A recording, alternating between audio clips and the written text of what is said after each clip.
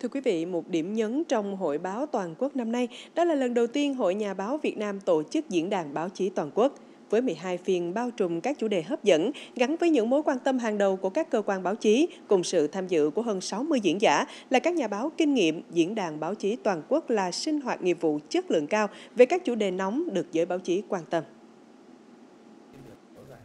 Muốn đi xa thì phải về gần. Đây là một ý ví von, hình tượng thú vị của Bộ trưởng Bộ Thông tin và Truyền thông Nguyễn Mạnh Hùng tại phiên toàn thể Diễn đàn Báo chí Toàn quốc năm 2024.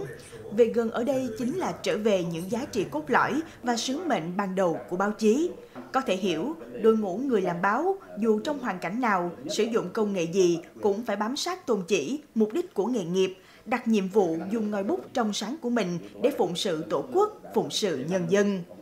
là báo chí cần thay đổi mới không thay đổi thì sẽ bị thay thế. Báo chí muốn phát triển thì cần không gian mới, cần lực lượng sản xuất mới, cần nguồn lực sản xuất mới. Bởi vậy, đầu tư vào công nghệ số, nhân lực số, dữ liệu số và đổi mới sáng tạo số sẽ là đầu tư tương lai của báo chí.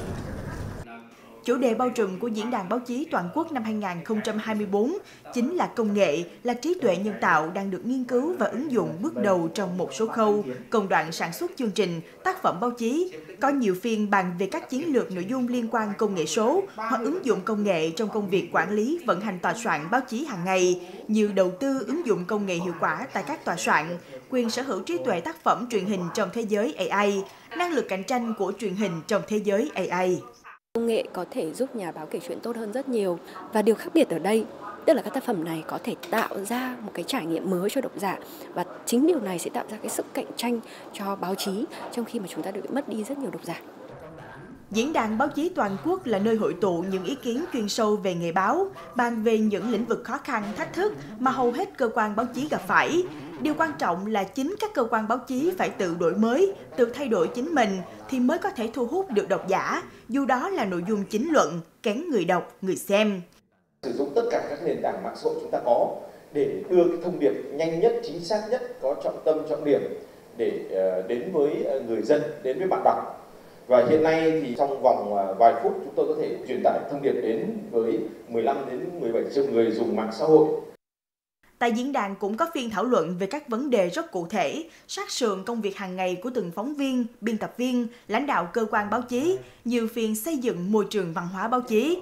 yếu tố đạo đức và văn hóa phải đan xen, bổ trợ, tạo nền tảng cho nhau để nâng cao chất lượng cho nền văn hóa của người làm báo là nhận định được các diễn giả nêu ra. Nếu cơ quan báo chí nào xây dựng được môi trường văn hóa tốt thì tôi tin rằng cơ quan báo chí đó sẽ phát triển tốt. Bởi vì không những là anh sẽ tạo ra được một cái định hướng tốt, anh tạo ra được một sản phẩm tốt, anh tạo ra được nguồn thu và lại tạo ra được một cái không khí làm việc có cảm hứng. Mảng chủ đề lớn khác cũng rất quan trọng chính là bàn về kinh tế báo chí. Lãnh đạo Bộ Thông tin và Truyền thông, các đài phát thanh truyền hình, báo, tạp chí cũng nêu ra kinh nghiệm, cách làm của cơ quan mình, xoay sở tìm nguồn thu trong khả năng. Qua thảo luận cũng có nhiều ý kiến đóng góp vào quá trình sửa đổi luật báo chí, hoàn thiện hành lang pháp lý về bản quyền báo chí, thúc đẩy hoạt động kinh tế báo chí phát triển.